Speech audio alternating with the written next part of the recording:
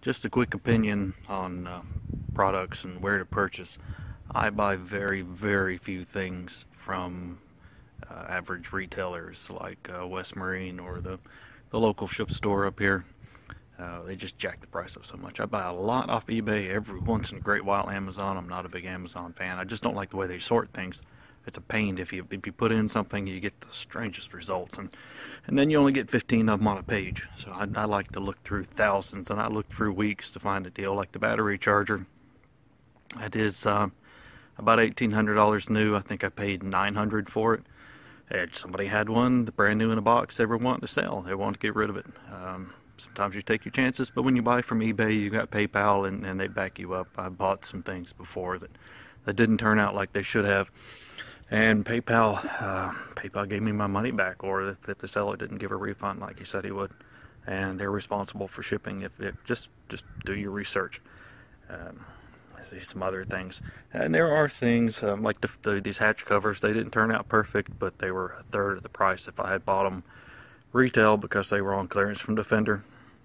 Um, and I found Defenders cheaper than than eBay quite often. Uh, just just look around. Uh, if you're not in a big hurry for something, and especially if it's a high dollar thing like that battery charger, it is definitely worth spending the time to to sit back, wait, uh, put it on a watch list on eBay, and just wait and wait and wait, and then when when an auction comes along and the price is right, keep your eye on it. And, hey, save a grand. So just spend a little time and, and do your research and, and ask around for the right products and don't think you got to go to West Marine to buy it. As I say, they're the most overpriced marine place that I have found yet.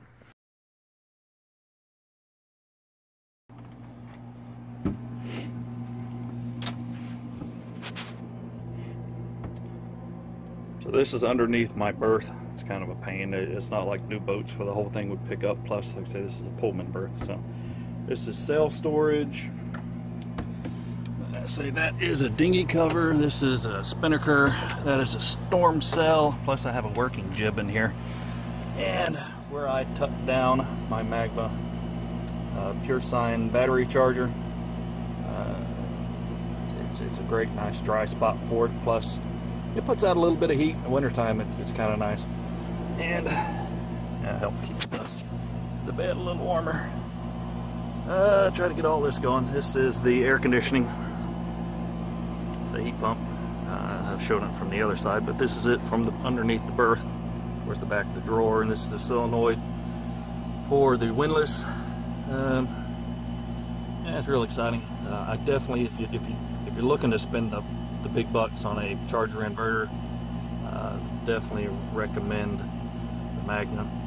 Uh, I've not had the first problem with it whatsoever. It, it's not as tunable as I would like it to be because all batteries are different and it would have been nice to been able to to set it up better for my batteries but uh, it just wasn't possible. Um, let's see the head. Everybody loves the head. Uh, this is a Jabsco twist and lock. Problems I've had with this thing. There's a gasket up here for when you're pumping and you're flipping the valve over where you shut off your inlet water, which is the black line here. This gasket, for some reason, gets really warped and it doesn't seal. You keep getting water in here. And then there's a gasket here that has a heavy flapper valve on it. And the whole point in the twist and lock, the shaft, the bottom of the shaft has a point on it and it pushes down on this to keep water from coming back into the head because we're, I don't know, it's hard to tell. I think my water line is about here. Yeah, that's that's handy. It's like 70 bucks, and it came with the boat, and I've never used it. I don't get that when I'm showering, but nobody wants to look at toilet paper either. So, I mean, there is an anti-siphon line, but there's a water, a lot of water sitting in that line, so it will come back in here, even with the joker valve, which is back here. And the joker valve does not stop the water from coming back in. That's not its purpose. That's to stop the big stuff from coming back. But this little flapper valve is what keeps the water from coming back. So it, it, when you're pumping the water out, it lifts it up and goes out, and then when you push it down, it stops it. Um, but that little flapper valve is a piece of shit. I don't know why. they just don't last very long. Uh, maybe a year, and then the water starts seeping back, and then whatever water, it, it ends up being about a quarter full with the water back flowing from that pipe, which is not good because anything you flush down that pipe ends up back in the toilet no matter how much you flush it. And what else we have in here? Uh, this is the switch for my, you know, this is where you sit when you're taking a shower. And this is the factory shower sump, which is really nice. I do need to redo my teak, as you can tell. Uh, I replaced the drain. They had a through hole in there, just a little mushroom through hole and you never could get all the water out so I had to cut a hole there was no access to it anywhere this is ridiculous but so I had to cut a hole and put an inspection plate which was good because there's all kinds of crap down there from the chain locker and this when the boat was built. But I replaced that. So when you're sitting here you're taking a shower and the water gets high enough you pull the switch of course you can hear it sucking the water out and I put a Whale Gulper 220 in there. It's a diaphragm pump. And you don't have to worry. If, if you have a boat that has a strainer just it's, it's just a little bitty strainer that you have to have to keep the pump the pump from getting all geeked up and, and full of hair and scum it all gets caught in that strainer and if you take a lot of showers especially if you have multiple people you take a lot of showers a view from the outside you uh it gets funky and you have to clean it about once a month and that ain't fun these are the uh, Pompano, uh, Bomar hood. I think it's Bomar. Uh, I actually got these off of eBay. They're originally, I mean, these are the really nice stainless. Uh, plus, they come with screens. I, I, don't usually keep the screens in there, especially in the wintertime because I don't open them. I get a better, get some of that light out of there. I had to have the trim rings made, which cost almost as much as these. I got six of these for about 1100 bucks delivered. Crazy deal because they're about $700 a piece. And little dog legs up here. Really nice, really heavy. Course, they weren't really made for this boat. You can kind of see the angle on it. That angle shouldn't be there. They should be tilted down. And I shouldn't have had to put the trim rings in there, but it sticks out a little far. But for that money, and these are some of the little uh, little foil things I was telling you about that I do. I just cut the holes in them, slide it over. Not only do I get privacy, but it keeps the light out or keeps the, the temperature warmer in here. Uh, it keeps the light out. And on the other side is the dock. And the, the boat that used to be right there, I don't know about the guy. He was okay. He was a little weird. But it seemed like every time I was taking a shower, he was on the cell phone. Of course, we have really horrible cell phone service there, so maybe that's why he was there. But he was on the cell phone, like pacing back and forth. I'm like, that's a little creepy. So I came up with some ways to uh, to get some privacy. But I put, you know, we were looking at the uh, the hatch covers earlier. You can see where the, the ring is from that thing I was working on. Let me tell you what, I, I took these off. I don't normally take these off in the wintertime. But dude, it get dark in here. And that's just a little bit of light coming around from the top. Flip it over, maybe a little uh, bend correctly. A little better. A couple of other things up here in the head. Uh, I've got this one turned this way for, for light reasons. Really don't use the fan much. Uh, but these are Kenfros. Uh, most of them you see have the little push button in the middle. Uh, these were kind of an accident, but they were they were definitely a blessing. They have the little remotes here. See the switch. You get a white light, a red light, and a rheostat for the fan. Which that little blue LED is silly because I know the fan's on, but I've got one of these in the berth and I actually just stuck a screwdriver in there and broke that LED out because I didn't want to have that on all night. But it's variable speed infinite, not just reposition. Plus, uh, when I take a shower, I use the red light because the white light yeah, it gets kind of bright when you're sitting down here, especially first thing in the morning, and it's like you don't want to deal with anything. That's the reason I've actually got it tilted towards the wall, but I've got it tilted down because I was I keep my fenders in my chain locker. Uh, I was using it to I need that white light here in a second. I was using it to to try to get some ventilation in there. Uh, something, yeah, all that's going to get painted. This is on, this is the bottom side of my windlass, and something you may not think about. Uh, this is the hole from the old windlass. That really needs to be plugged up better than what they did. But this is where the chain comes through, and you don't think about it, but that anchor locker and that chain, you get a lot of cold air coming in there. I just I, had a different piece that fit in there correctly and plugged it up, but couldn't find this this year. I Just shoved a rag in there. Uh, but that keeps a lot of cold air out. Boy, you notice it when you're sitting right here and your back is up against there and you're taking a shower. You notice all that cold air coming in. Something else I've done, I've added these. Uh, uh, what is the name of these people?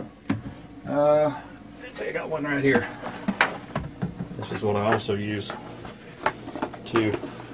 They're Camcos.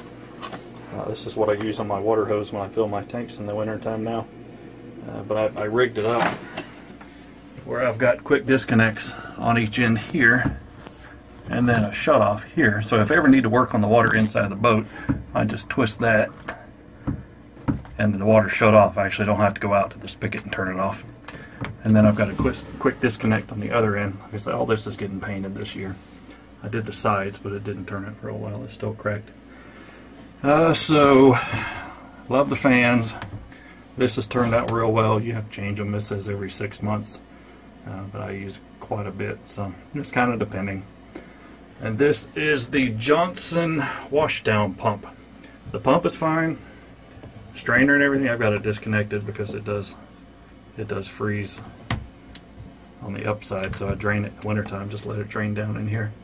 Only problem I've had with this is the switch up in the anchor locker. Uh, if you look these things up, they come with a rocker switch and a fuse.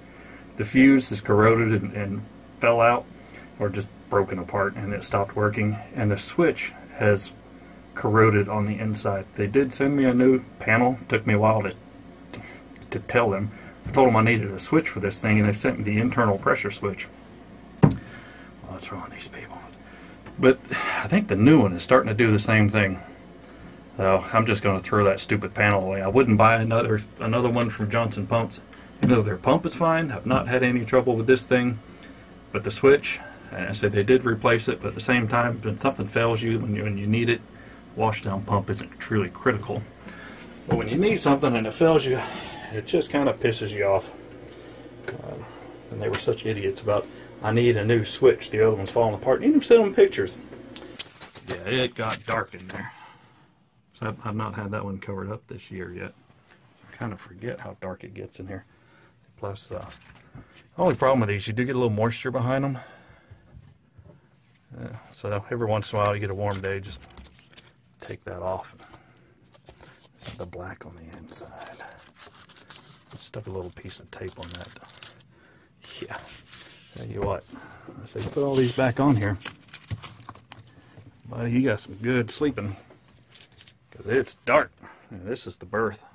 You can see a little bit. I also, on some of these, especially in the berth, I, I make a, a round one and I put on the outside of it.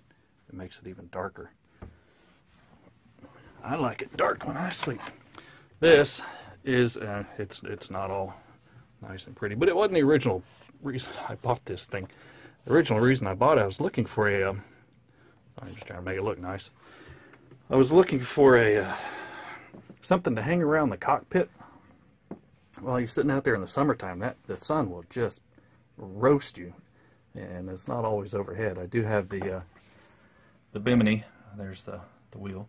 I do have the the bimini and the connector and everything. And of course, the full enclosure in the wintertime. Uh, during the summer, you, you, need something to hang around the side. So I thought, you know, these things, they're, they're really, they're actually, they're silk. It's five yards long and about a yard wide. It is an Indian Sari. Uh, they're pretty cool looking, and I think I got it for like 15 bucks. Yeah, it was used, and it had, had a little bit of a curry smell to it or something when I originally got it. Uh, but I ended up hanging it over there to block some of the light during the summer it looks pretty cool from the outside, but just to block some of the light. Yeah, it kind of added a little bit of color, and it just it just changes the mood inside of the boat a little bit when you're sitting in here, rather than than this bright. I've been keeping it closed up. Summertime, open it up a lot more. Uh, wintertime, of course, this side, like I say, the dock's right there. And there's only two boats down there, but still, you, you do lose some privacy. This is the only dock in the marina like this, but it's also one of the best slips. This is uh, linen. I like linen. I like textures.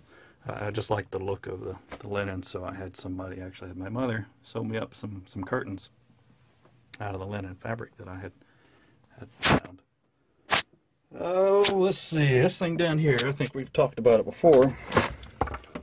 Uh, this I added. Uh, you can get these off eBay for like 15, maybe 20 bucks, and make sure you get it in Fahrenheit.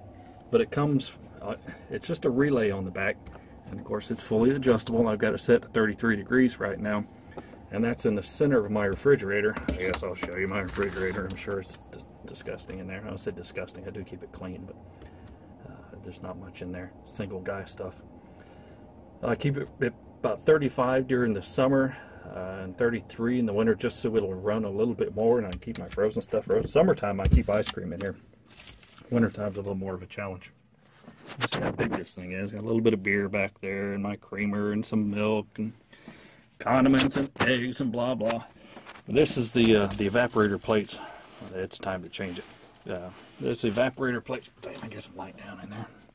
For the refrigerator, I cover them with aluminum foil because ice doesn't stick to the foil. You couldn't do this on the painted aluminum, but it just flakes right off, even though sometimes it gets really thick, and you have to kind of tap it off. Yeah, as it builds up, you really see back there, there's quite a bit build up. I'll get that one. Well, it's backwards in the camera. You can just flake this stuff off, the, the foil does get beat up after a while. Uh, so you don't have to, to thaw it out nearly as often Otherwise, it's like during the summertime when it runs a lot and there's a lot of humidity, you got to thaw the refrigerator out once a month or more, maybe twice. There's some chicken. That may be dinner. What is that? That's wings. Yeah, and we'll do some chicken wings on the grill for dinner. These are wine bags. I like my wine occasionally. I take it out of the box. You got a big bag that looks like blood. What you do when these things are empty, yeah, you don't really have to clean them out. Uh, just put it under the faucet, you know, squeeze it all the way down, put it under the faucet, get it filled back up with water. And because I got such a big, if I can show you, that is my full arm length, and it goes all the way back there, and probably, you know, two and a half feet across. It's big enough that I could actually get in there. Thing here. It's a lots of condiments, so I need to clean this thing out but it's, it's big enough you could you could squeeze in there. Uh, I don't have that much stuff. I you know I go by the grocery store pretty often, so I put these bags in here. I say that one's not frozen, but I guarantee it's right at it. But this one that's underneath the evaporator plates, it's a block of ice. It, it froze in about a week. So when I leave the dock, I don't I don't I don't buy ice anyway, but I don't need to put anything else in there. It does help to, to absorb some of the heat um, that would be normally have to cause the refrigerator and evaporator place to run. Actually, it just came on here a second ago. Hey, well, we have a beer. There's out again. About, about 2 o'clock in the afternoon. So anyway, and, and the bags, they form. So if you have something uh, that, if this did freeze, and the other one did, you know, I, I actually formed it. I put something up here to keep it a little more square and plus I also put stuff underneath it like this chicken. I could, if I got a little flatter, I could slide the whole thing up under there and that would give me more freezer space because this thing, it doesn't take long for it to get full. You see, you see how thick the ice is on the inside here. There you go. I don't have aluminum foil. Yeah, it is time to thaw that. You see how it flakes off that aluminum? I don't know why they don't make these out of something that it would just flake off like that. Anyway, so I added that and there's a temperature sensor on the bottom of this. So, because I've got my hands in here, it's about 35 degrees right here. So down there on the very bottom, it's actually freezing, which is great for milk. Um, you know, it's right at it where it doesn't actually freeze, but great for milk. Any any meats like that you can keep down there for a long time without actually freezing. French press. Ran out of water, so I had to refill my tanks. Um, so I hadn't rinsed my French press yet. KitchenAid kettle.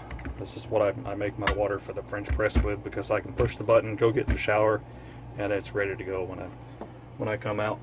Uh, and dump it in my French press rather than putting stuff on something on the stove and just letting it boil and letting it boil. Good grief, we're up to 24 minutes already. So I guess we'll stop this one now. Uh, we have run on and on and on. Um, this may end up being two videos. Well, I think that's about it. Just, just living the dream here. Islander. I love, love the Islander Freeport. You get these these will be replaced. These are on the list to be replaced before I go cruising. The little eyebrow windows. Which are great when you're down here. You know, you're down and you're you got the, the autopilot on.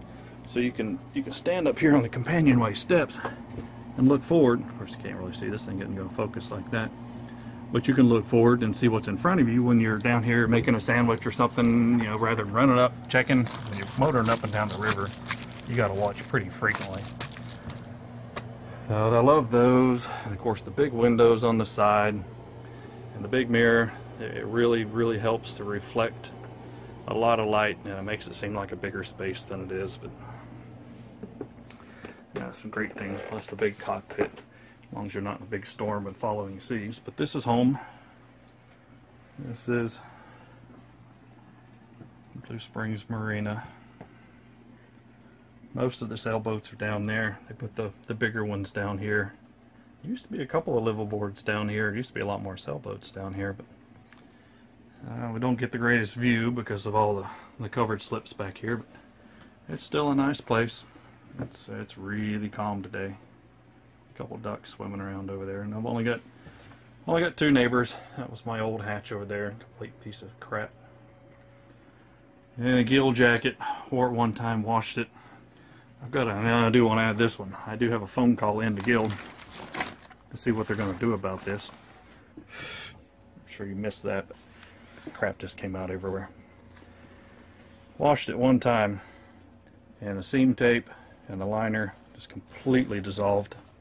So I'll either be praising them for taking care of a customer or telling you to go buy Musto or Henry Lloyd or something else because this jacket was worn one time and I got something on the back of it. So I washed it. No dryer. Just normal gentle wash. And it's completely falling apart. Rather pissed off about that. Alrighty. So, um, yeah. I guess that's it. I thought I had uh, some more things to go over. But I think that's it. So, Thanks for watching. Uh, keep in touch.